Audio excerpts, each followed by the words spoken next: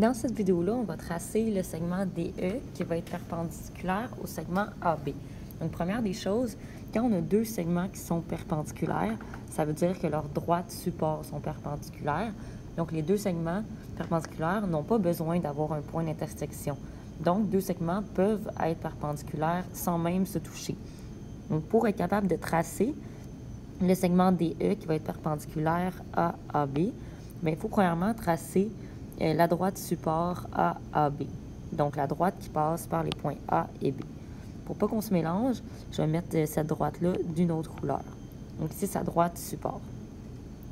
Ensuite de ça, euh, je vais devoir tracer une droite perpendiculaire. Donc, je veux que ce soit perpendiculaire, donc je dois respecter cette condition-là en choisissant l'outil perpendiculaire. Et je veux que ça passe par le point D. Donc, je vais devoir aussi consciemment choisir ça.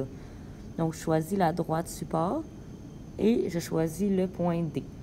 Donc ici, peu importe comment le segment AB va bouger, tout va suivre. Donc la droite perpendiculaire. Ensuite de ça, si je veux un segment DE, ben, il va me rester à aller tracer le point que je vais mettre sur la droite qui est perpendiculaire. Donc ici, ce point-là s'appelle C.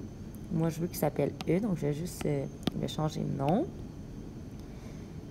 La droite support, je vais la mettre euh, aussi d'une autre couleur pour aller tracer le segment entre D et E.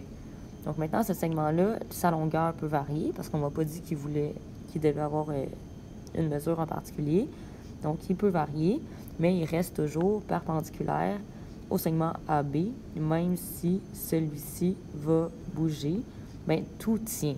Donc, c'est un peu ça le test quand vous faites une construction retourner à la flèche, essayer de bouger les choses. Ici, ça tient, ça veut dire que c'est euh, bien construit. Donc, le point E, si j'essaie de le bouger, je peux juste le bouger sur sa droite support et je ne peux pas l'emmener ailleurs.